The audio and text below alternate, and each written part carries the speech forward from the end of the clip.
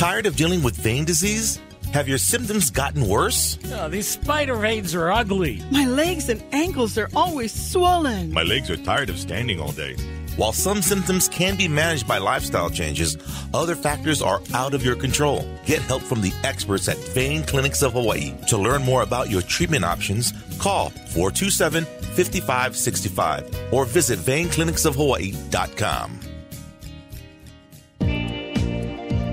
Aloha Hawaii! It's time for the Vein Clinics of Hawaii radio show. Their team's approach to diagnosing problems and developing solutions and treatment plans are beyond compare. So let's get started with your host of the show, Mike Buck, and medical director, Dr. Randall Juliff of the Vein Clinics of Hawaii. Well, hello there. You know, we're so glad that you've chosen to join us today because one of the things that we really like doing is just sort of floating around and, and, and hitting on the on the salient points of vein clinics of Hawaii what they do.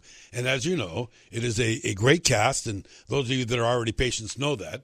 And there are so many different things that go on there, and one of which really circulates around a able-bodied technician who knows what he or she is doing uh, in the diagnosing and in the testing that needs to get done. And before we introduce our special guest of the day, uh, Dr. Juliff, uh, being on four islands, it's really important that you have staff that you can trust and staff that have that, that level of expertise. So let's get right into it today because we need to get our friend Mike on the air and then out of here because he's got to go back to work. Right. You know? Unlike us.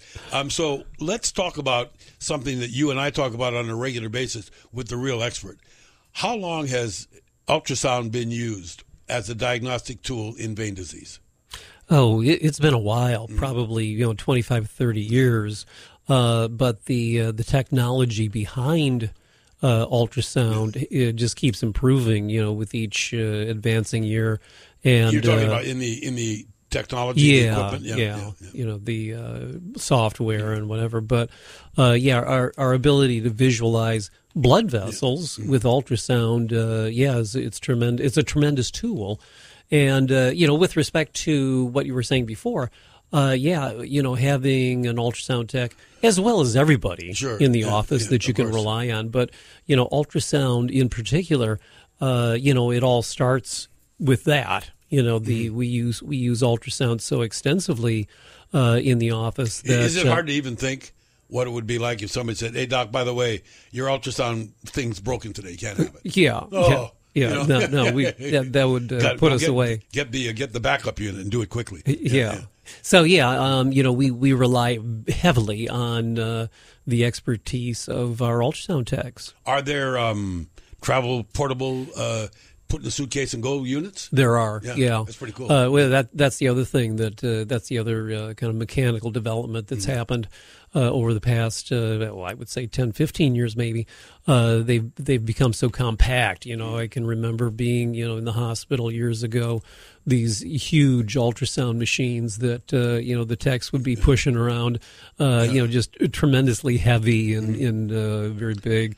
But yeah, you could uh, basically put it in a suitcase. But one thing that would needs to be asked, and we we do this from time to time, and that is the the investment that has got to be made in doing what you and others do uh, to open these clinics. When you have all of this equipment all over the place, it must mean that you know you, you need to stay up with things, but you don't want them to be replaced. Like remember when computers or the iPhone changed every eight minutes? I Sure. Mean, if you didn't have the new, one, I don't want to work for you. I Yeah. want the new stuff. Yeah, luckily ultrasound machines are not quite that bad.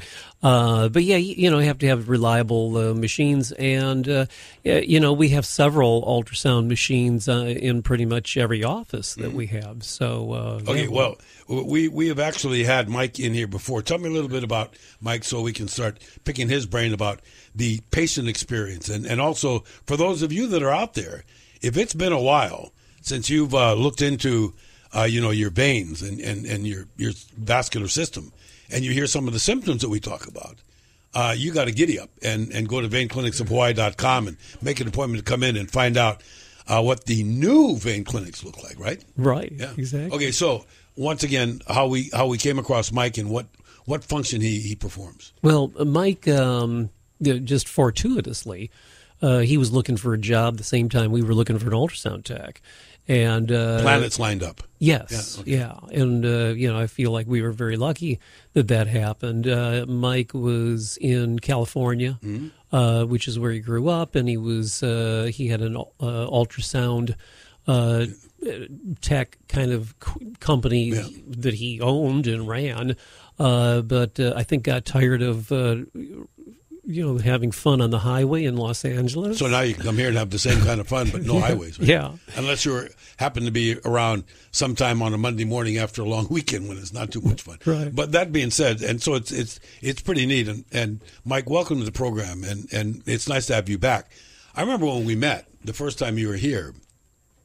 That you're a surf kind of do it anyway, so Hawaii's just just just the right for you. So you've been here how long? Uh, I've been here almost one year now. Yeah, that's pretty cool. And so, Doc, based on previous discussions that we've had, the thing that, that, that prevents anybody from opening a new restaurant or another clinic, like in your case, four on four islands, you you need to have the kind of staffing that you need. And here comes uh, come Mike at, at the right moment. right. Um, what? But I'd be interested to know how do you even get interested in the technology in the first place? Well, you know, I kind of just fell into the field uh, back in about 2010. I knew somebody who had a sister who was in the field, and uh, I spoke with her, and it kind of sparked my interest. Um, and in school, you kind of, you know, you learn um, every every area of ultrasound, and you kind of get drawn to one area. I got drawn into the uh, vascular arena and started specializing in vascular ultrasound, and then later cardiac ultrasound, echocardiograms, um, and that's kind of how I got going. Uh, I think it's kind of interesting, Doc, that, that Mike's that way because we don't know what motivates you. It's like when we talked about you're changing from being a, you know, uh, a a heart guy uh, into a, a vein guy, that it's your calling. Yeah. So here, here comes something. It would seem to me that anybody can buy the ultrasound equipment. You know, if you can go to the ultrasound company buy one, but I guess there are ways to use it and ways to use it. And when you find somebody that you trust, you would expect to get a standard or a set rule of of you know accomplishments every time somebody goes to work. Yeah, uh, yeah. Ultrasound. Uh, you know, you start when you're when you begin to study ultrasound. You know, ultrasound is used in so many different you know arenas. Uh, you know, we look at abdominal contents Yeah. with the ultrasound, and we look at other soft tissue things.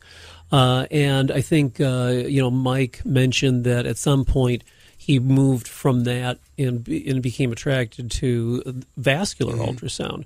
Um, so, uh, but you know, doing uh, doing venous uh, work with the ultrasound is even a step above that. Uh, not everybody likes it, uh, but but yeah, yeah, as you mentioned, I mean, it's something that you you, you are drawn to if that's going to be your you know, bag. But well, you know, thank goodness for all the ingredients, right? Because you need Sure. them all. And the thing, Mike, that I, you know, now that I've actually had uh, you do that with me, I think that the same thing holds must hold true. I am fascinated by the way you can touch somebody with a probe. And you can look at the screen, and when you release it, you can see the squirt this or the squirt that. And I know it's not just a video screen that's been made to entertain people, but that's kind of like, isn't that? Is there a set path that you go through on every examination you do? Yeah, I mean, there's there's you have a general idea of what you want to find in a patient or what you're looking for. Everybody's anatomy is basically the same, but the superficial venous system does have a lot of variations. So you go in there with an idea in mind, a protocol, um, but then you definitely have to stray away from it uh, pretty frequently. Let, let me ask you this, because I, I, I, I used to be what was called morbidly obese. I was really a big guy, and I'm still kind of a big guy, but not like I was before. Is it harder to do ultrasound on some people that are physically larger than others? Sometimes, Yeah, yeah, yeah. sometimes definitely. 'Cause The, the reason why, and I, I've shared this with Doc before, is I had hip surgery a long time ago, and the physician now, who's actually a friend, said, "Man, I, I wish I'd have done you now instead of then. You were a pain in the you know what." So, so I'm imagining, even though you said everybody's kind of similar, if you've got a foot more skin in between me and the vein, it might be tougher to see. Yeah. How far into my leg can you see? Uh, I could see in probably like if I if I really want to get good Mm. like a good idea of what what's going on in the vein, I I don't want to look deeper than like eight or nine, ten centimeters. Uh, Mm-hmm. Which with is- with with the vascular probe that I'm using. If you're using a different probe, then you can penetrate the skin a little bit more. Um, so you know, if, with my probe that we use with venous ultrasounds, we don't really look deeper than like that. After Mm-hmm. okay, that, now, now when he's talking about it, you're looking at about five to six inches or so, maybe a little bit more. ish, Yeah, yeah. but but but what I'm thinking is really neat, Doc, and you've talked about this before. Um, if somebody has deeper problems than that, and we talk about that, maybe you guys can explain the difference between the deep vein system and the and the other vein system. What we're really looking at with the ultrasound is not the big ones right in the middle, right? Well, we do that. Yeah, Uh, we, yeah. we- you know, when we do a venous ultrasound uh, diagnostic uh, study of the lower extremity, uh, we're looking at all the veins Mm-hmm. uh, because uh, it's it's important to know the you know functional uh, mishaps Mm-hmm. going on in the uh, deep system too. Now, luckily, most people have normal function in, their Mm-hmm. in their deep system.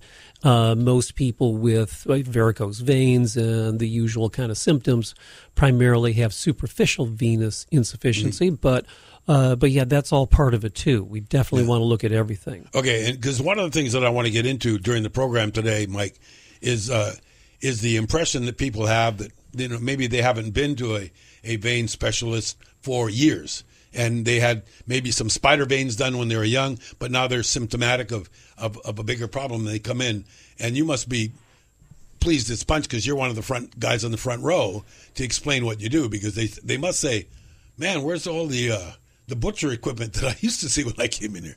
What's going on with me? Do you get that with some of our uh, people that are nicely aging in place that need to get looked at? Yeah, we get we get people with a lot of past vein history, uh, vein treatment history. We have patients who um, had procedures called um, vein stripping, Mm-hmm. um, you know, like 20 years ago. And vein stripping was a very invasive procedure that was uh, an inpatient procedure at the hospital, Mm-hmm. um, and a lot of downtime, very painful, very difficult on the patient. Um, and then when I explained to them what the modern vein treatments are like. It's uh, they're they're definitely pleasantly surprised. We also have a lot of patients who keep going back to like dermatologists for um, spider vein injections, and they don't understand that um, you know initially that the spider veins are going to continue coming back because they're not treating the underlying uh, problem. The you know when you have Yeah. superficial venous insufficiency and you inject just the spider veins, but you leave like the great saphenous vein or the small saphenous vein or anterior accessory saphenous veins, then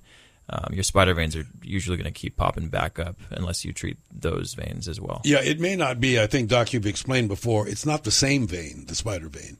But if you're that part of your body was had some spider veins and you and you fixed them or shot them, you're going to get some more Right. because that that area is a, is attractive to spider veins or something. right? Yeah, well, the, yeah, the underlying, like Mike was saying, the underlying function of the uh, superficial system is uh, definitely having an impact on what's going on, you know, at the level of the skin. And uh, yeah, it may not be the same exact spider vein that comes back, Yeah. but it's probably going to come back in some way. the, the thing that I did get fascinated at a little bit, Mike, was it, it's sort of neat to me the level of communication that you must have to have with the doc because consistency in examination makes the doc feel if he has to, if you have to examine me and he's not there, that what you do. And I, I noticed this guy, he's kind of like, he's ambidextrous because one hand he's doing the ultrasound, the other hand he's writing, and I think he can go back and forth. um, because isn't it sort of neat that the machine does the machine actually record uh, a ultrasound, or does that translate to the chart that you're doing physically next to the machine, or both? Uh, I take images on the ultrasound machine and I take clips. Um, and then I also am drawing, uh, kind of mapping out the venous system as I'm doing the ultrasound. But then I'll go back after the ultrasound exam is done and then kind of fill in all the blanks with, with the images and clips that I have taken. Yeah, and isn't that once again consistency is the key, right? Oh, yeah. So that when you come in to do a surgery, and there, there's another question. Somebody else actually asked this. Um, do you employ the use of the ultrasound during the procedure sometimes? Yes, we do. Yeah, that's yeah, kind of neat. extensively. Yeah, yeah. Um, yeah. I mean, the again, you know, you know, the ultrasound allows us to do the, what we're doing now in such a minimally invasive fashion. You know, as opposed to vein stripping and all the surgical stuff that we did before. Uh, but yeah, using the ultrasound allows us to do Yeah. that. That, that's really interesting, and I guess maybe, Mike, it sort of dovetails into why you decided to pursue this particular thing. So, I guess when you when you go to a clinic, what's it like knowing that okay, you're going to provide the doc uh, or the surgeon with the information that they need? They're going to go in and fix somebody, and then you're going to keep track of them what six months later or a month later when they come in for a uh, shave and haircut to see how things are doing. Do you remember patients' legs? Oh yeah, I mean, Yeah. yeah, yeah you, you usually remember patients' legs. Sometimes the names and the faces get a little blurry, but you Yeah, always that's remember the pretty venous neat, you system. know. Yeah. Yeah, I've seen that leg. Yeah, I think it's na- Bob owns that leg. uh, but but I'm still interested in, in the actual procedure. Um, I, and I do know that there's probably no set answer, but generally speaking, when you do a thorough ultrasound test on somebody, about how long do you spend with them? Uh, usually I'll spend um, if if it's a new Mm-hmm. patient, somebody who's never had any treatment before, I'll spend about thirty to forty five minutes Mm-hmm. with them. Um, if it's a patient that I've seen before that I'm just checking to, you know, checking to see how they're doing after a procedure, I may only spend twenty minutes or so. Yeah, because that's what sort of, and I'm glad that we're doing this program with Mike now, Doc, because that's sort of what I'm going to do now. I'm coming in based on you taking a look at my legs a few months ago and discovering a, treatment plan. Now I'm going back in, and I guess the first thing is Mike's going to take a look to see if there's been any changes from then and now. Is that how it works? Oh yeah, absolutely. I mean, I do a full ultrasound. I, I look at all the same veins that I looked at before, Yeah. except now I'm I'm seeing things a little bit differently. The you know we we close uh, superficial veins, so I'm making sure that the veins that we treated are closed. Mm-hmm. I'm making sure that your deep veins are nice and open, that there's no blood clots or any any sort of complications. Um, and then I'm also Mm-hmm. checking to see if there are any more superficial veins that are open that we, you know, that, that could be potentially causing a problem. Um, and I check the valves in, in the open superficial veins as well. Yeah, and I think Doc, maybe you can, you, you guys can, you know, go back and forth on your own on that end of it by talking about, you know, what level of expectation. In other words, I come in and I fill out my little "How am I doing," and that's going to determine what what course of treatment I need this visit, and then you're going to be able to tell Mike or uh, any other you know technician that does this or that. Uh, here's the goal with this guy today. We need to take a look at this and that because he's going to have some surgery next week or whatever. Sure. Yeah, I mean, pe- people come in and at the time of their initial office evaluation, you know, they, they present their symptoms to us. So, um, you, you know, according to the symptoms that they're having, then uh, that in many ways is going to direct uh, how we evaluate them. And when Mike is doing an ultrasound, he's he's aware of the complaints that the patient has had, and uh, will be aware of you know maybe looking at things a little more closely in this area or that area. Uh, but yeah, we the, it all starts with the patient telling us what's going on. Um, and then from the ultrasound, we're able to, you know, anatomically know what's going on, and then uh, come up with a treatment plan for them. Okay, the reason I ask is because I don't want my treatment, I mean my examination, to go somewhere in a file. Okay, because it, so I, I want to talk about what conversations that you all have uh, uh, based on a patient. Like for instance, I asked the question when I was there with you, Mike.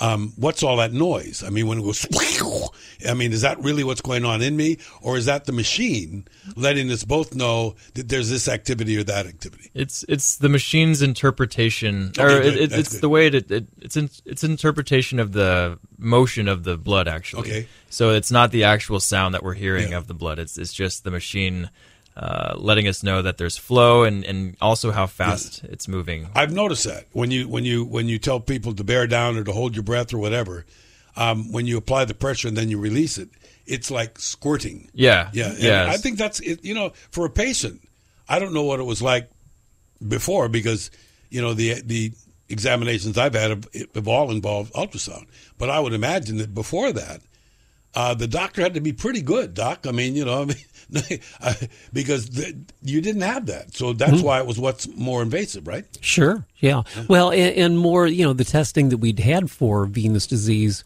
uh, prior to ultrasound were, were, you know, kind of rudimentary kind of things that didn't give us anywhere near as much uh, information as the ultrasound does. Uh, and they were more time consuming and more bulky and that kind of thing. So, uh, more difficult to do. Uh, so yeah. The, now, with respect to you were you were getting at, I think, uh, where we store information and what is the information that we do want and where does it go? Yeah, well, yeah. you know, there's really three places. Uh, like Mike was saying, when he's doing an ultrasound, he is, uh, you know, taking still images or or little video clips uh, of uh, of you know the the veins that he's looking at. Uh, and that's stored in the machine, or we can put it on a disk. So that that we keep for you know a long, long time, Sure. indefinitely. Yeah. Uh, now, secondly, we also have a uh, an electronic medical record that we input data from that ultrasound. And actually, the uh, the electronic medical record that we have is kind of neat because it you put in the numbers and the uh, positions and all that sort of stuff, and it actually comes up with a nice little drawing. Yeah, I've seen that's fascinating. Yeah. So that's kind of cool. But then, in addition to that, and the, probably the most practical thing that we have is after uh, Mike does an ultrasound, he uh, he actually draws out what he has seen on a templated kind of you know stick figure that we use and uh, you know puts all the numbers and all all the relevant uh, information so that we can so that when we do go into the procedure with a patient we've got one thing that we can look at and that that's going to tell us give us all the information that we need while we're doing that procedure Okay, so here's where I come in. I've just had my ultrasound. Now pretend that I and I've left the room. Um, I, I'm not sure how often that you guys get to verbally communicate with each other about every patient, but typically, what would be the conversation when the doc says, "Okay, Mike, check out check this guy Mike out. He's got we think he's got a clot down there. He's got this over here, and you do your thing, and then what happens to that information?" Uh, well, I mean, the, the doctor or one of the providers will talk to me and tell me what the complaints are, what they think may be going on. Like, hey, keep a special eye out for, you know, for a blood clot maybe in this area. yeah. So I'll, I'll go in there kind of with a little background and I'll talk with the patient a little bit too and kind of get my own idea about what's going on with the patient. And, um, you know, and I'll just check extra hard in, in the certain areas that I'm concerned about or that the doctor's concerned about. Um, and yeah, The, the, the, the, the reason I ask that is because I know that when you discuss a treatment plan with the patient after they've had that, no matter who discusses that, uh, whether you know a nurse or whatever, that all of this information travels with that person to whatever outcome you're, you're expecting. Yeah, we d- we don't have a personal conversation about each and every ultrasound Yeah, that's be done hard, hard. in, in the office because you know eighty percent of the time uh, it's you know, relatively straightforward. Uh, we have the you know again when we're seeing the patient uh, after the ultrasound or, and you know at that point when we start to do procedures, we've got the written ultrasound Mm-hmm. report. We've got the uh, diagram that Mike has done. So uh, again, usually it's uh, it's fairly straightforward. Now, are there some times when we do have to have a conversation? Oh yeah, yeah. absolutely.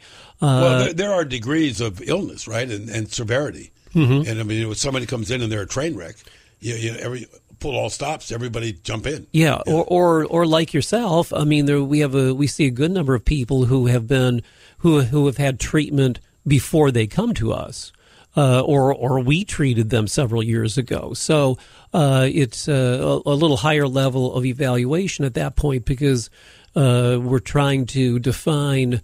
Uh, what the, you know the status of the procedures that had been done before, but also find out what might be new going on with that patient when they come back in. Yeah, I think it's kind of fascinating because I'm I'm I, I, I feel confident and Mike, this is must be where you must have you, where your ability comes in, so that no matter who picks it up, they're going to be able to say, okay, this is what the this is what ultrasound says. Right, And yeah. They're not they're not going to. In other words, you're the doc in the in in the procedure. You're the one that does the test, and the doc needs your info to make his decision on a treatment plan.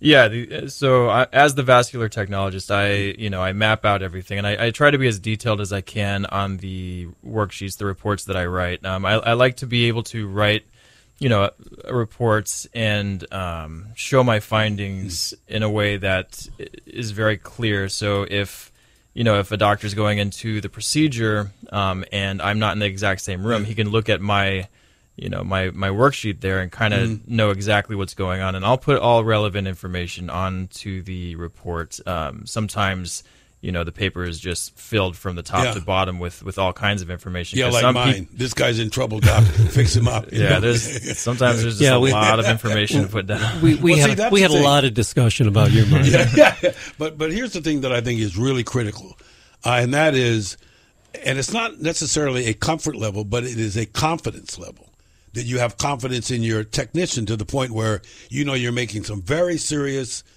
treatment plans or decisions based on what he has determined is going on in there that you couldn't see from outside. Sure, Yeah. absolutely. You know, I think um, maybe what we should get uh, comments from Mike on are, are, you know, what in the course of the ultrasound, what is he looking for that really is is the information that we need? You know, uh, uh, venous insufficiency has to do with the fact that some veins in our legs are failing.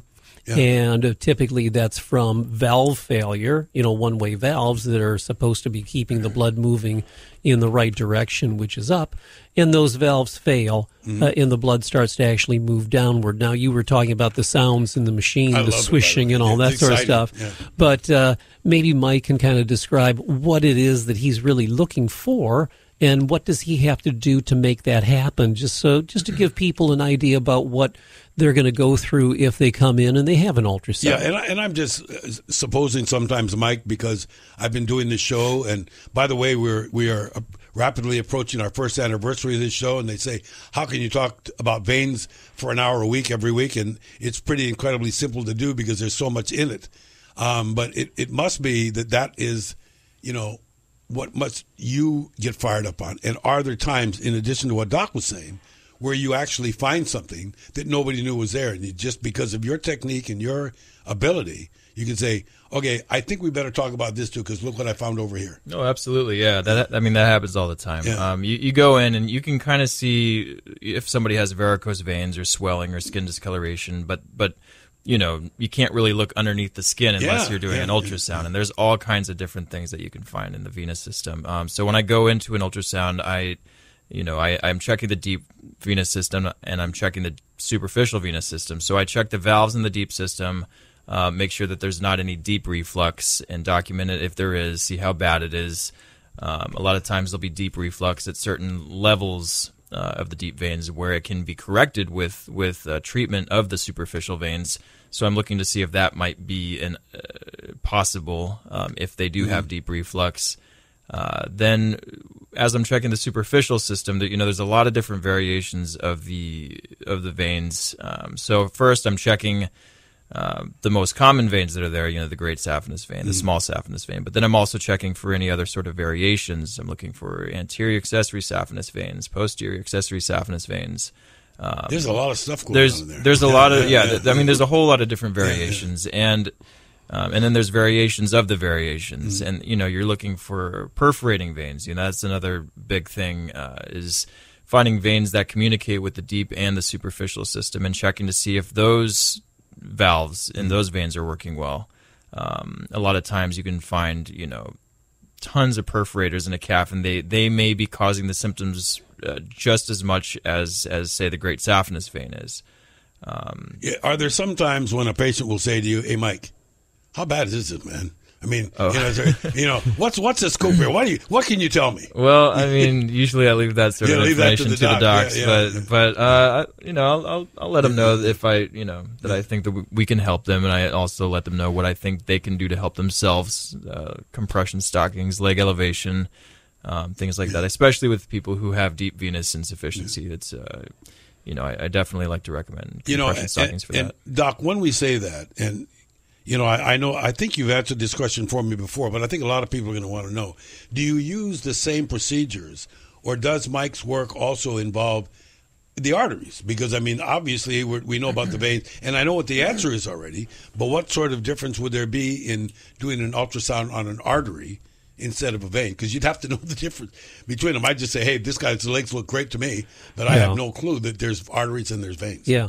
Uh, well, and, and we do evaluation of arterial problems in our office also, uh, even though it's not our main concern. But uh, we we do we do arterial studies. Mike does arterial studies all the time, um, and uh, and yeah, that sometimes people come in with a set of uh, symptoms, and we're not sure. Yeah, Is it- whether it's is it due to veins Yeah, or is it due to arteries? That's great. I mean, And- it's great to hear that. And uh, so, uh, you know, most of the t- most of the time you can tell just by listening to the patient and looking at the legs. But sometimes you're not sure. Sometimes, uh, as we talked about recently, you could have both. You know, both arterial and venous. So it's important for us to be able to do arterial studies too.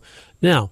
Um, the uh, the thing that we're the things that we're looking for in the arterial system are completely different. You know, Uh, the uh, you know the problem with veins Mm-hmm. is that uh, valves fail and blood starts to go in the wrong direction. Uh, the problem with arteries has to do with plaquing. You know, b- uh, blockages Yeah, blockage in of the it, arteries, right, right. and uh, so the uh, the thing that we're looking for there on the ultrasound is completely different. Uh, maybe you'd like to Yeah, comment on yeah. that. My, my, what's it like? I mean, you know, I got this big old leg here, and we're going to look at my veins and my arteries. How in the heck do you tell the difference between them? I mean, Oh, there's that's the magic. Mm. It's there's a lot of differences between the two. First of all, I mean the the, the direction is one, right? the direction's one. Yeah, the arteries oh, I are got that one right, Doc. Yeah, yeah. the arteries have a thicker wall layer. Mm-hmm. It has an extra layer of uh, muscle tissue that the veins don't have. So you can collapse veins with the ultrasound uh, probe if you push down, but you cannot really collapse arteries too easily. Mm. Um, also, another real good way to tell um, is just by knowing the anatomy, and Mm-hmm. then also knowing that the you know your heart is pumping the oxygenated blood through the arteries, whereas the veins, um, your heart's not really moving that flow along. That's all mainly respiration and, and calf movement. They call your calf the uh, the venous heart Yeah, the actually. pump, so yeah. so if you if you sample the arteries with with the ultrasound Doppler, you'll you know you'll see like a nice uh, rhythmic you know um, uh, flow like you know like you would like if you feel your pulse on your wrist. That's Mm-hmm. kind of how we see the arterial flow moving about. Whereas with the veins, it's more of like a slow wavy kind of flow. Like and it and it varies depending on your respiration and and, and movement. And b- by the way, gang, you, you need to go to veinclinicsofhawaii.com and see some pretty dramatic pictures that will, will show you. And, and also, it'll kind of walk you through some of these other things. And don't forget, a lot of our previous shows are archived, and this one will be too uh, one of these days when we get that up, Doc. But I, I think I have such a confidence level, not just in my work, but in, in, in your procedure. And I think that maybe uh, that's why I thought I think people that are out there listening, once again explaining that in that leg of yours, there's a whole lot of stuff going on. So one would think that if you're an ultrasound operator, if you're a good one, your little probe will tell you what you're looking at all the time. Yeah. Yeah, it, it you know um, it, it's the anatomy is complicated. Now the the arteries, uh, the arterial system is a fair bit more constant, you know, from one person to the next than veins. Uh, you know, veins can can as Mike was touching on before. There's a whole bunch of different uh, you know variations on a theme. Uh, arteries not so much. So uh, you know we can uh, we have an expectation for the arterial anatomy going into it. Uh, but all yeah, all of that can be sorted out with the ultrasound. Um, the uh, with respect to you know arterial flow problems, and again, it has to do with plaquing. But you know, the main way that we Excuse me, Doc. Is isn't plaquing where the inside of your artery gets choked up with this plaque, Right. And so the it can't move the same volume of blood that it used to. Exactly, exactly, and, and that uh, you know it gets to a point once once that blockage gets to a certain percentage, uh, then patients are going to start to have symptoms from it. You know whether it's uh, leg or coronary arteries or whatever. But um, so the way that we look at that, um, you know, when we're when we're diagnosing venous problems. We're looking for that reversal of flow. You know, like Sure. we said, blood's going in the wrong direction, and we can actually see that, and, and that was that's part of the sloshing process that we hear, uh, and we can visualize those areas where the valves are actually failing and the blood's uh, you know settling downward. Uh, in the arteries, since there's more of a continuous flow because of the uh, you know it's pulsatile, but it's a continuously pulsatile flow um, we can see those areas of uh, blockage in the artery not only by looking at it with the ultrasound, just getting an image, but we also use we also use flow patterns, and that's another. Uh, there's a variety of Mm-hmm. Yeah, different I'm ways. anxious to find out a little bit about that. I think everybody would be. Yeah, there's a variety of different things that we look at, and and again, maybe Mike can touch on this. Uh, you know, what are the things that we look at when we're diagnosing arterial blockage?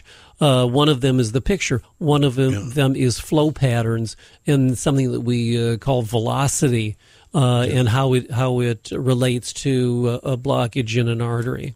Yeah, Mike, there's another question, obviously, and we've spent a lot of time on the program talking about how an equal opportunity uh, disease this is between men and women. However, uh, pregnant women are a little bit different than men, eh, no matter what. What's what's the difference having to do, and can you tell on a patient, let's say that had vascular treatments and then gets pregnant, is it is it more difficult to do ultrasound? Is it hard because of what's going on, uh, or is it uh, just different? Uh, I wouldn't say that it's more difficult to do a venous exam um, on a on a pregnant patient or a person who has been pregnant. Uh, pregnancy does uh, make the venous insufficiency problem a little bit worse in a lot of patients, um, but it doesn't make it any more difficult than than just a normal venous patient Yeah. who has venous insufficiency. Yeah, so that's good, Doc. That you know you can still get a pretty good reading. There, there's one more thing before we go in and, and do what else you were talking about. Is I'm very curious because I know that symptomatically I might feel something's throbbing or burning, and somebody else might feel it's hot or cold.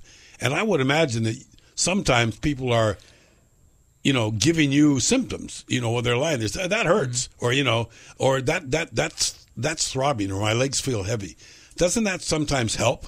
Passing along more information. Here's a symptom that we hadn't discussed that the patient just volunteered. Oh yeah, yeah. I mean, uh, I definitely speak to the patients and I try to get an idea about what what type of symptoms they have, um, and it it definitely helps me kind of determine what may be going on, and it, it just kind of supports my findings that I find uh, with the ultrasound exam.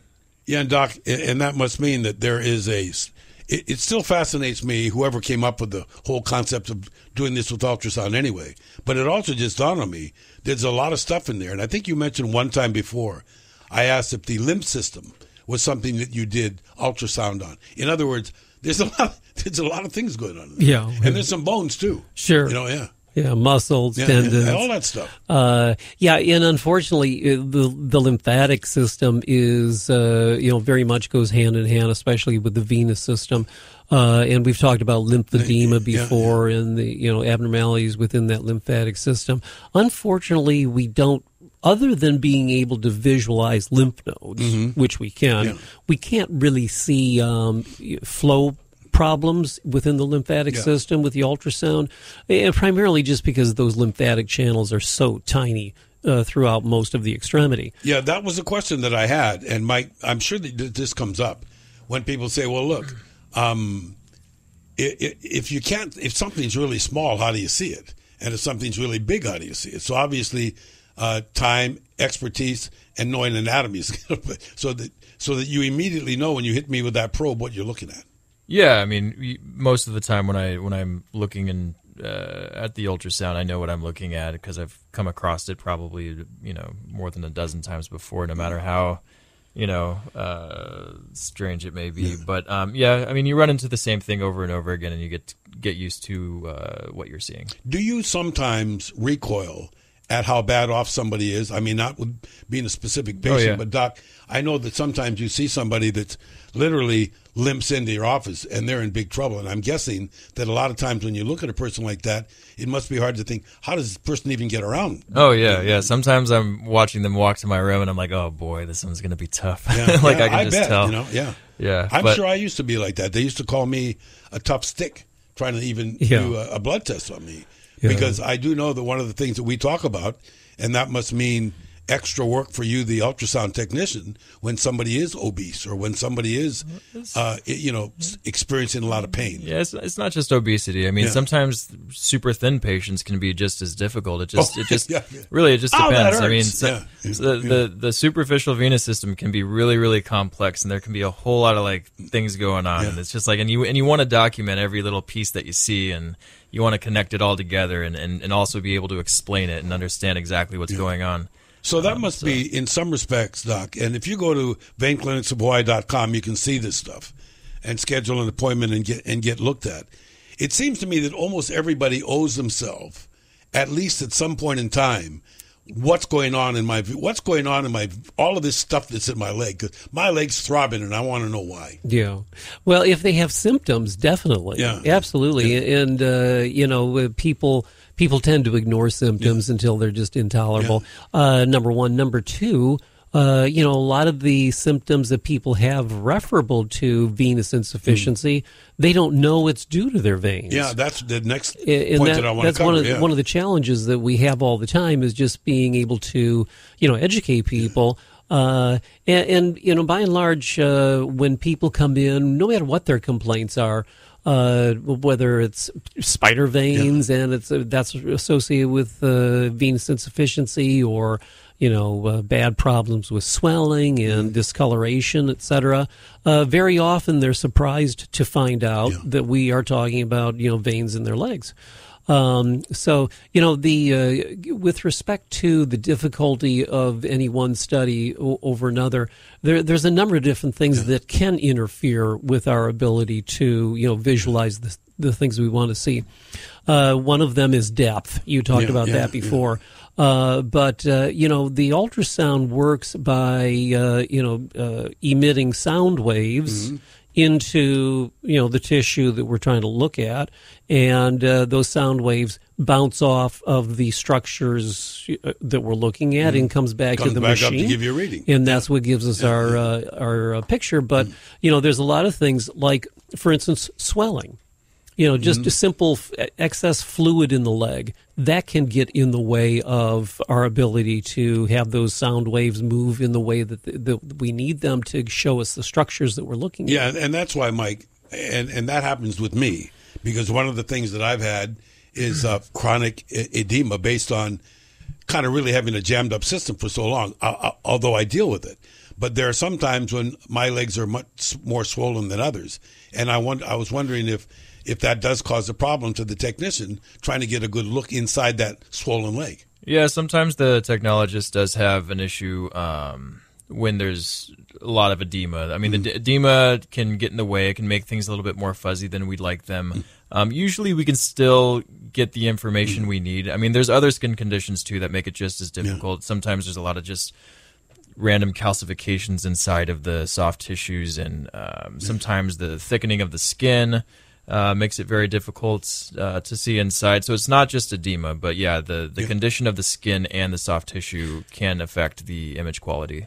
sometimes we actually have to initiate some treatment. Now it's usually it's not the invasive yeah. kind of stuff that we do, but uh, sometimes we have to initiate treatment for a, sub, a number of weeks or even months Mm-hmm. to try to uh, relieve that extremity of the swelling or the changes in the skin, et cetera, before we can get a what we would what we would consider a reliable ultrasound. But you know, I must tell you that that I'm pretty aware now of it. You know, to, to make sure I get my compression, and my stockings, my elevation. But I, I'm around a lot, and especially here in Hawaii, and we've discussed this before. You see a lot more. Uh, here because you know we're wearing shorts and stuff. And there's sometimes people get past the point and re- no return. Say, "I don't care what it looks like. I'm wearing my shorts." I see some people, Mike, and it must be. d- Does it sometimes amaze you as a technician how much these people are going through just to get to your office? Uh, yeah, and you know, it really amazes me that that these people um, sometimes walk around for years and years Yeah. with this issue, and and you know, and it, it bothers them, it hurts them, but you know, they don't really know that there's treatment options available. Um, and you know, that's that's a problem in the medical field that I've noticed is that venous insufficiency is is uh, not is overlooked sometimes. Uh, You know, it may be, and I think one of the things that you've talked on Doc before, and some of our patients that we've had in previous shows, a lot of that is because, like you say, this one particular disease comes on very, very slowly, and so so the symptoms you may not even attach to it. Sure. you might just think, hey. When you talked uh, the last couple of shows about restless leg syndrome, and I, I would guess, Mike, when you are doing an ultrasound some like that, that that's one of the things the patient will share with you. That hey, you know, is is is that pain that I'm doing at night or that restless leg syndrome? Is that because of my veins? Oh, absolutely. Yeah, absolutely. And I'll ask them questions and and uh, sometimes I'll ask them, "Do you have restless leg syndrome?" And they say, "Well, yeah, but that is that related to my veins?" And they're Yeah. they're shocked to hear that, that yeah, it is. Definitely it, it can be. Well, I remember the old song "Knee Bone Connected to the Neck Bone" and all that stuff. Yeah. I mean, it, it it appears to me that almost a lot of people, Doc, are in. Maybe they're in denial. They don't realize how bad off they are, or maybe even how bad the, the quality of life that they have are because their their system's not working right. Yeah, yeah, and they've grown used to it. But yeah, you know, I think that uh, venous symptoms and venous disease in general in this country has been ignored tremendously Yeah. for many, many years. Now, part of it is because of the fact that uh, some of the symptoms that we deal with, the patient can't connect with Yeah. vein problems. Um, uh, some of it is, you know, back 30 years ago when all we had was surgical vein stripping and very invasive kind of procedures, um, there was a much higher uh, threshold before people would even want to be treated. I mean, course, they had yeah, to yeah. really feel bad before they went to, for vein stripping. Uh, so, uh, you know, I think it was ignored that way. And um, uh, and again, uh, you know, not not everybody, and we, we try to educate uh, not only uh, you know the not only the general population, but the physicians that we Sure. we deal with, and uh, to make sure that uh, everybody knows the uh, you know the extent of uh, of symptoms and et cetera that come along with venous insufficiency, and it can be treated very easily these days. Yeah, and, and the other side of it is because it takes so long to collect. I think that everybody needs to find out, and this is just a plug for getting an exam, um, where you sit uh, on the chart. I mean, you need everybody fits somewhere on the chart of venous disease. Maybe at the very bottom you don't have any, but I think Mike sometimes, and and some people are to this other end of the chart where we're going to talk about in a bit. These where we have ulcers, and that's like really bad stuff. But you said something earlier that I think needs a follow through, and that is a lot of times. Well, not, it's not a large percentage. I know in vein clinics of Hawaii, but a lot of vascular stuff is spider veins and, and cosmetic stuff. Um, are there times that you discover during an ultrasound, if one is even done on some of those, you know, very superficial things, that you can't see what's going on inside, but there are issues? That the patient doesn't know there's nothing bulging out or sticking out, but you might be the bearer of some not very good news every now and again with an ultrasound. Well, yeah, yeah, definitely. I mean, some some there's a huge spectrum with with venous patients. Um, some patients have no visible signs whatsoever of venous insufficiency, but they'll have some of the symptoms like cramping or swelling or restless leg syndrome, and they won't connect it uh, to venous insufficiency or to, or to a vein problem because they don't have the classic varicose veins, um, so they won't really connect the dots there. And then on the other hand, you'll have patients with with varicose veins who may not have any cramping or or restless leg syndrome. They'll have you know maybe they'll just have a little bit of swelling or edema in their legs, or maybe they'll have uh, uh, you know just a little bit of pain here and there. Um, so there definitely is a spectrum. Sometimes you you you find patients with tiny little veins um, with lots of reflux, and usually the more um, uh, symptomatic patients have larger Yeah, uh, veins. out, really. But sometimes Yeah, you find patients with tiny little veins that are only two millimeters in diameter, and you know there's like a few seconds of reflux, but they have all the symptoms. You know the the pain, the swelling, the cramping. Uh, the restless leg syndrome, and and so yeah, there's definitely a spectrum. There's there's not a clear cut um, uh, mold for for venous patients. Okay, so here's here's the question, Doc. Generally speaking, if somebody comes up with what they think is a vascular issue, or somebody in the family says, "Oh man, well, that's the thing we got," to so obviously they come in. You you got. I, I have to tell you that they want you know the names of your unborn children on this on this question and answer thing. But the more thorough it is, the better a picture you get. Yeah. And I know that this has been developed with malice aforethought that there is a path that that goes through. And if a patient is honest with those questions, you can really cut through a lot of the exploratory stuff, particularly that when, when then you send the patient to Mike to get an ultrasound. Yeah, yeah. The you know the the reason why we have that uh, you know iPad questionnaire. Yeah. I, but it's very convenient. Yeah, well, I, I think it's good. I, you know, a lot of people don't like to go through each and every question, right. but but yeah, it really does help us narrow down, uh, you know, what's going on with this patient, and uh, in the long run, actually, it saves time because otherwise we'd be the ones, you know, asking all Of those course, yeah. Uh, but yeah, yeah, it helps, and uh, you know, a, a complete history is important, not only as it pertains to their symptoms, you know, when they they arrive, but also their past medical history, what medications they're on, allergies, all of that. Mm. You know, we we've got to know about that because we're going to be potentially doing uh, procedures, giving them medication, and uh, you know, it's uh, pertinent information. Uh, one of the things that you talked about before was swelling, and I guess Mike, you said that swelling. If you if you're really swollen, it's hard to get harder to get a good look you know, at what you're doing with the ultrasound. But obviously, some people are there because of the swelling. So you still got to be able to take enough of a look so that they can start getting some treatment, if not to do anything else, but reduce the swelling so you can do a better job. Is that a good question? Uh, yeah, I mean, a lot of times uh, the patients will come in for swelling, and it, it might be a little bit difficult to see everything that I want to see. But usually, I can uh, I can get the information that I need, and if the swelling is bad enough, we can Yeah. do treatments before the ultrasound that kind of uh, minimizes the swelling enough to where I can uh, get the information that I do need. You know, sometimes all we need to do is to put a, a compression wrap Mm-hmm. on somebody's leg and, uh, you know, encourage elevation and all that sort of stuff. And that makes a tremendous difference. I'm sure you've seen that in the past. Absolutely no, and even with me. So I'm I'm thinking if you are wearing compression socks. And one thing I do know that uh, you know before you get surgery, you know vascular surgery, that the insurance companies particularly want to know well what have we done so far.